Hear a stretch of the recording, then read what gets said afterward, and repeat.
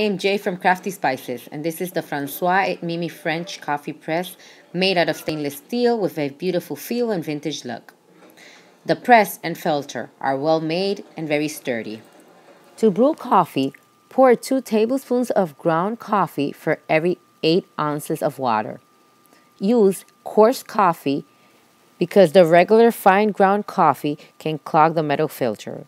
After adding the appropriate amount of ground coffee, based on how much coffee you are making, you should probably already have the corresponding amount of hot water measured.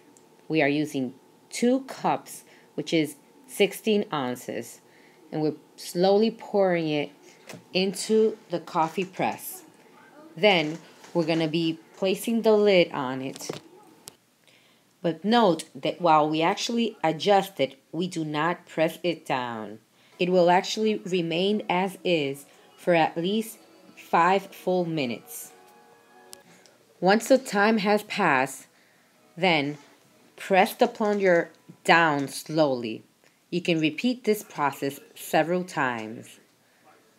Just like I am doing, slowly going down and then up. You don't want to do it too fast because if it's too full, vapor could come out and burn you or water can spill.